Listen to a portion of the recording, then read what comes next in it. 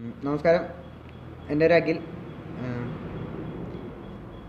അതായത് ഇപ്പോൾ ഞാൻ ഇവിടെ പറയാൻ പോകുന്നത് എന്താണ് ബി ആർ എം എന്നുള്ളതാണ്. അപ്പോൾ നമ്മുടെ കൂട്ടുകാർക്ക് പലവർക്കും അറിയില്ല ബി ആർ എം എന്നുള്ളത് എന്താണ്. അപ്പോൾ ഇപ്പോൾ എല്ലാവരും പൊതുവെ സൈക്ലിങ്ങിലേക്ക് കടന്നു വരികയാണ്. അപ്പോൾ ബി ആർ എം എന്നുള്ളത് എന്താണെന്നുള്ളത് അതും ബി ആർ എമ്മിന്റെ മീനിങ് പറയാം. ബി ആർ എം എന്ന് പറഞ്ഞാൽ ബ്രിവേറ്റ് ദർ ആന്റോണേഴ്സ് എന്നാണ് അതിന്റെ മീനിങ് അപ്പോൾ റാൻഡേണേഴ്സിന്റെ ഒരു മീറ്റാണ്. അതായത് നമ്മളിപ്പോൾ പറയും ബുള്ളറ്റ് റൈഡേഴ്സിന്റെ മീറ്റ് എന്നൊക്കെ പറയുമല്ലോ അതേപോലെ റാൻഡേണേഴ്സ് സൈക്കിൾ ചവിട്ടുന്ന റാൻഡേണേഴ്സിന്റെ ഒരു മീറ്റാണ് ബി ആർ എം എന്ന് പറയുന്നത്. ബി ആർ എം തന്നെ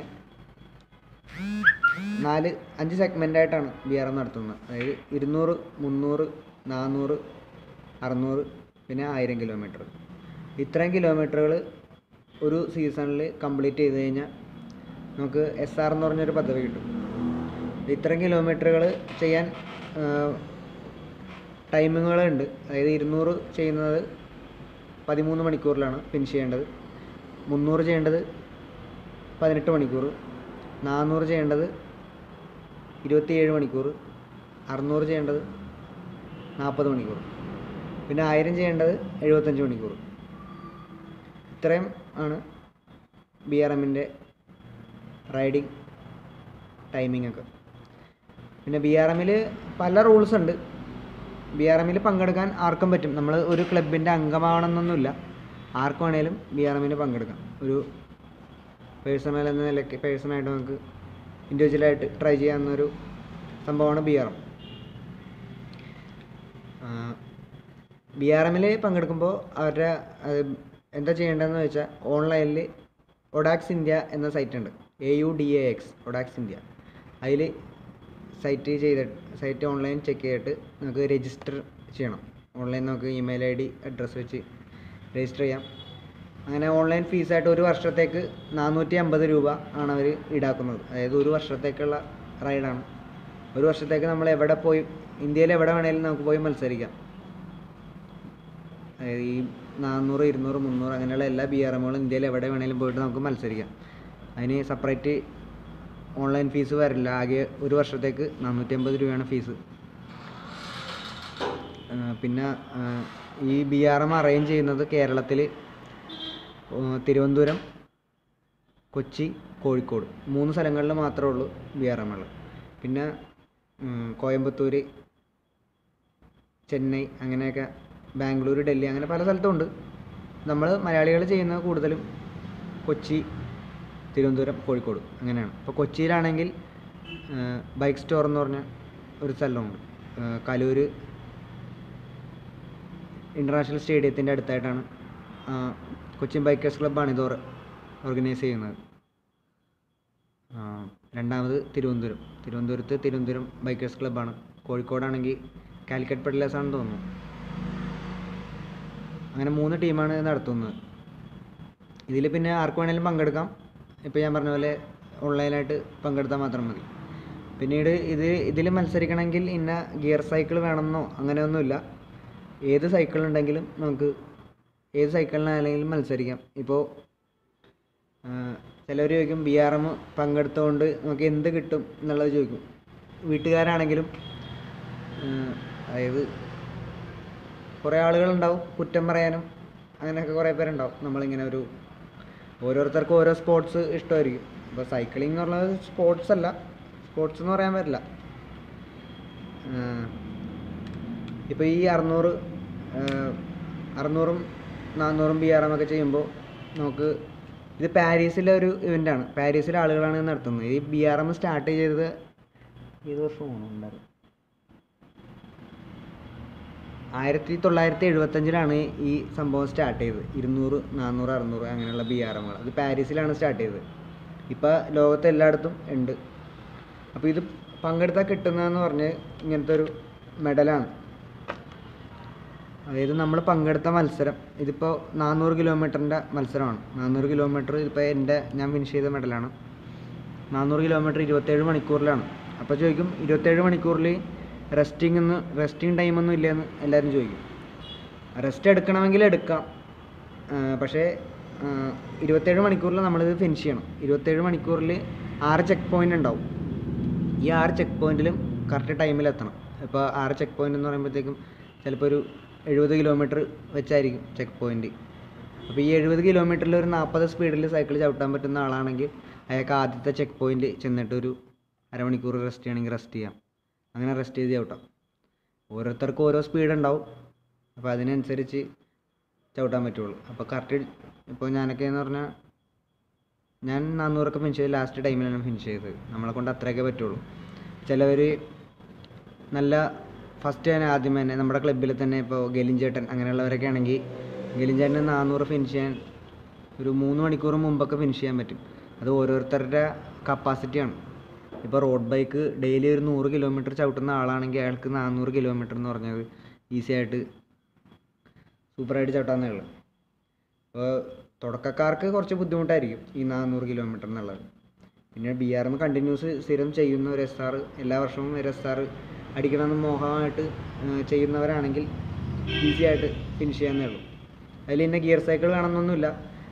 ഇപ്പോൾ നമ്മുടെ ക്ലബ്ബിലെ ജയ ജയപ്രസാദ് എന്ന് പറഞ്ഞ ഒരു ചേട്ടനുണ്ട് നെട്ടൂരുള്ളത്. പുള്ളിക്ക് അമ്പത്താറ് വയസ്സുണ്ട്. പുള്ളി കഴിഞ്ഞ സീസണിൽ എസ് ആർ അടിച്ചത് സിംഗിൾ സ്പീഡ് സൈക്കിളിലാണ് അത് B S S L R നമ്മുടെയൊക്കെ രണ്ടായിരത്തി പത്ത് വരെയൊക്കെ ഉണ്ടെന്ന് തോന്നണം അതിന്റെ making B S S L R ഇപ്പോഴും ഉണ്ട്. ഇപ്പോൾ B S S L R Photon എന്ന് പറഞ്ഞൊരു മോഡലാണ് ഇപ്പോൾ അറിയപ്പെടുന്നത് ആ വണ്ടി.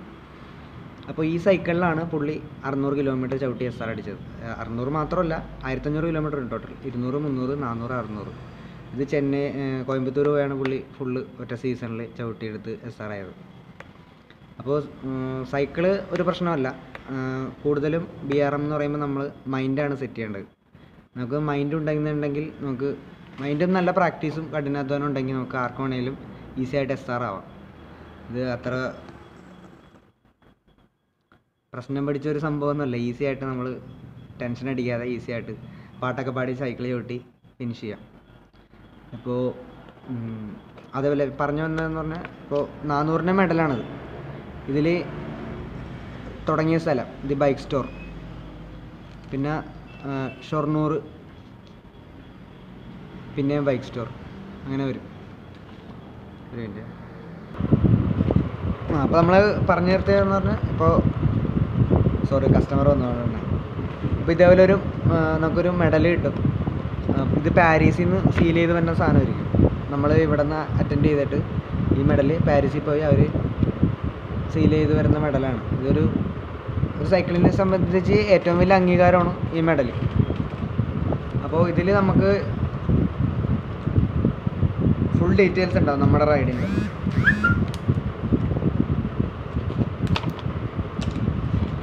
ഇപ്പം ഞാൻ ആ, ഞാൻ ചവിട്ടിയ നാന്നൂറിന്റെ ബി ആർ എമ്മിന്റെ ലിസ്റ്റാണ് എടുക്കുന്നത്. നമ്മൾ ഏതൊക്കെ ടൈമിൽ ഏതൊക്കെ പഞ്ചിങ് പോയിന്റിൽ എത്തി എന്നുള്ളതിന്റെ ലിസ്റ്റാണിത് ലിസ്റ്റ്.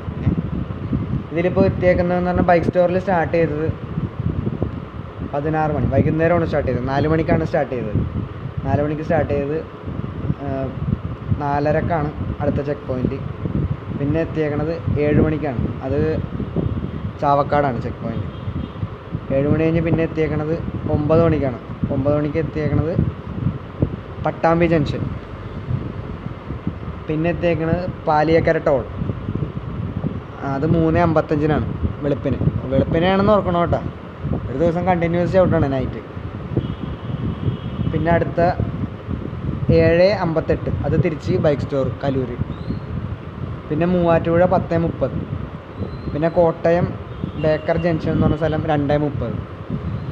ചേർത്തല നാല് ഇരുപത്തഞ്ച്. തിരിച്ച് ബൈക്ക് സ്റ്റോർ ഏഴ് മുപ്പത്തി ഏഴ് മുപ്പത്തി ഏഴിന് ഞാൻ ഫിനിഷ് ചെയ്തു. അതായത് പത്തൊമ്പത് അതായത് ഒമ്പത് ഒമ്പത് മണി വരെ ടൈം അല്ല ഒമ്പതല്ല? എട്ട് മണി വരെ ടൈം ഉണ്ട്. അതിൽ ഒരു പതിനഞ്ച് പതിമൂന്ന് മിനിറ്റ് നേരത്തെ ഫിനിഷ് ചെയ്തു. അപ്പോൾ കറക്റ്റ് ടൈമിലൊക്കെ എത്താൻ പറ്റുള്ളൂ. അത് ഓരോരുത്തരുടെ കപ്പാസിറ്റി പോലെയൊക്കെ ഇരിക്കും. ഇപ്പം നല്ലോണം ചവിട്ടുന്നവരാണെങ്കിൽ നല്ലോണം ഫിനിഷ് ചെയ്യാൻ പറ്റും. ഇത് ഓരോരുത്തരുടെ കപ്പാസിറ്റി പോലെ ഇരിക്കും. പിന്നെ ബി ആർ എം ചിലവർക്കൊക്കെ ഒരു ഇതുണ്ട്. ബി ആർ എം എന്ന് പറയുന്ന സംഭവം ഏറ്റവും വൈകി എത്തുന്നവനാണ് ഏറ്റവും വലിയ മിടുക്കൻ. അങ്ങനെയൊക്കെ പറയുന്നവരുണ്ട്. അത് ഓരോരുത്തരുടെ ഞാൻ പറയുന്ന ഓരോരുത്തരുടെ കപ്പാസിറ്റി അനുസരിച്ച് അവർക്ക് ചവിട്ടാൻ പറ്റുള്ളൂ. ഇപ്പോൾ സ്പീഡിൽ പോകുന്ന ഒരാൾക്ക് സ്പീഡിൽ മാത്രം പ്രാക്ടീസ് ചെയ്ത ഒരാൾ പതുക്കെ ചവിട്ടാൻ പറ്റും. അതും മത്സരത്തിന്. അപ്പോൾ ഇപ്പോൾ ഞാൻ പറയുന്ന ഒരു നൂറ്റമ്പത് കിലോമീറ്റർ ഡെയിലി പ്രാക്ടീസ് ചെയ്യുന്ന ഒരാൾ അയാൾ സ്ഥിരം ചവിട്ടുന്ന പോലെയല്ല അയാൾക്ക് ചവിട്ടാൻ പറ്റുള്ളൂ. അതിൽ അതിൽ പതുക്കെ അയാൾ ചവിട്ടിക്കഴിഞ്ഞാൽ അയാളുടെ പെർഫോമൻസ് അയാൾ ഈ ചെയ്യുന്നത് തമ്മിലൊരു ബന്ധമില്ലാതായി പോകും. കാരണം ഈ ബി ആർ എം ചെയ്യുന്നത് തന്നെ നമ്മുടെ സ്റ്റാമിന എത്രയുണ്ടെന്ന് നമ്മൾ തന്നെ അളക്കുന്നതാണ്. ഇത് വേറെ ആരെയും ബോധിപ്പിക്കാൻ വേണ്ടിയുള്ള ഇവന്റ് അല്ല. നമ്മൾ നമ്മളെ തന്നെ അളക്കാൻ വേണ്ടി ചെയ്യുന്ന ഒരു ഇവന്റ് മാത്രമാണ് ബി എന്നുള്ളത്. ഇപ്പോൾ എന്റെ പല സൈക്കിൾ സുഹൃത്തുക്കളും ഇതൊരു എന്താ പറയണം ഇതൊരു വാശി പോലെയാണ്. എനിക്ക് അയാളെക്കാളും മുമ്പ് എത്തണം അങ്ങനെയൊക്കെ പറഞ്ഞാണ്. പക്ഷേ ഇത് അങ്ങനെയൊന്നുമല്ല. ഇത് നമ്മൾ ബി എന്ന് പറയുന്നത് മത്സരം തന്നെയാണ്. ആ മത്സരം എന്നുള്ളത് നമ്മളും സമയവുമായിട്ടുള്ള മത്സരവും മനസ്സിലായില്ലേ? അല്ലാതെ വ്യക്തികൾക്ക് ഇതിൽ പ്രാധാന്യമില്ല. വ്യക്തികളും ആദ്യം എത്തുന്നതാണോ അങ്ങനെ ടൈമൊന്നുമില്ല നമ്മളും ടൈമും തമ്മിലുള്ള മത്സരമാണ്. അത് അത്ര എനിക്ക് പറയാനുള്ളൂ. ഈ വി ആർ എം എന്താണെന്ന് വെച്ചാൽ. പിന്നെ പറയാനുള്ളതെന്ന് പറഞ്ഞാൽ സൈക്കിളിന്റെ കാര്യം ഏത് സൈക്കിളിലാണേലും ഫിനിഷ് ചെയ്യാമെന്ന് പറഞ്ഞു. ചെയ്യാമെന്ന് പറഞ്ഞു. പിന്നെ റൈഡിങ് റൂൾസ് ഉണ്ട്. ബി ആർ എം പങ്കെടുക്കണം എന്നുണ്ടെങ്കിൽ നമുക്ക് ഹെൽമെറ്റ് ഗ്ലൗസ് റിഫ്ലക്റ്റീവ് ജാക്കറ്റ് ഫ്രണ്ടിലും ബാക്കിലുമായിട്ട് ബ്ലിങ്കർ ഇതാണ് ഇത്രയും കാര്യങ്ങളാണ് അത്യാവശ്യമായിട്ടുള്ളത്. പിന്നെ ഒരു സൈക്കിളിൽ ഇപ്പോൾ ആദ്യമായിട്ട് ചെയ്യുന്ന ഒരാളാണ് എന്നുണ്ടെങ്കിൽ എനിക്ക് പറയാനുള്ളത് അതായത് ഒരു എക്സ്ട്രാ ട്യൂബ് അല്ലെങ്കിൽ രണ്ട് എക്സ്ട്രാ ട്യൂബ് കരുതി. എം ടി ബി ആണെങ്കിൽ ഒരു ട്യൂബ് മതിയോ? എം ടി ബി പഞ്ചറാവാനുള്ള ചാൻസ് ഇല്ല. ഹൈബ്രിഡോ അല്ലെങ്കിൽ റോഡ് ബൈക്കോ യൂസ് ചെയ്യുന്ന ആളുകളാണെങ്കിൽ രണ്ട് എക്സ്ട്രാ ട്യൂബ് എടുക്കുക. ഒരു സൈക്കിൾ ഹോൾ സൈക്കിളിൽ ഹോൾഡ് ചെയ്യാൻ പറ്റുന്ന ഒരു പമ്പ് എടുക്കുക. പിന്നെ ബോട്ടിൽ ഗേജ് വെള്ളം കുപ്പിയുടെ കാര്യം മറ നിർബന്ധമായിട്ടും വേണം. വെള്ളം കുപ്പി ഇല്ലാതെ ഒരു പരിപാടി നടക്കില്ല നമ്മൾ ഓരോ പതിനഞ്ച് മിനിറ്റിലും ഓരോ സിപ്പ് വെള്ളമെങ്കിലും കുടിക്കണം. പിന്നെ പഞ്ചറായി കഴിഞ്ഞാൽ നമ്മൾ പഞ്ചർ ഒട്ടിച്ച് സമയം കളയാതെ നമ്മുടെ ട്യൂബ് അതായത് കയ്യിലുള്ള എക്സ്ട്രാ ട്യൂബ് എടുത്ത് ടയറിലിടുക ടയറിലിടുന്നതിന് മുമ്പ് ആ ടയറിന്റെ അകത്ത് കൈയിട്ട് ഓടിച്ച് വല്ല കമ്പിയോ അങ്ങനെ എന്തെങ്കിലുമൊക്കെ ഇരിക്കുന്നുണ്ടെന്ന് അറിയാൻ ചെക്ക് ചെയ്യണം. കമ്പി ഉണ്ടെങ്കിൽ അത് എടുത്ത് കളഞ്ഞിട്ട് വേണം പുതിയ ട്യൂബ് ഇടാൻ. എന്നിട്ട് എയർ അടിച്ചു കഴിഞ്ഞാൽ നമുക്ക് ആ പഞ്ചർ ഒട്ടിക്കാനുള്ള സമയം ലാഭിക്കാം. പിന്നീട് നമ്മൾ എവിടെയെങ്കിലും ഫുഡ് കഴിക്കാനോ അങ്ങനെ നിർത്തുമ്പോൾ മാത്രം ആ എക്സ്ട്രാ ട്യൂബ് എടുത്തിട്ട് പഞ്ചറായ ട്യൂബ് എടുത്തിട്ട് ഒട്ടിച്ച് വെക്കാവുന്നതാണ്. കാരണം അത്ര സമയം നമുക്ക് ലാഭിക്കാം. അപ്പോൾ അത് അത്ര എനിക്ക് പറയാനുള്ളൂ.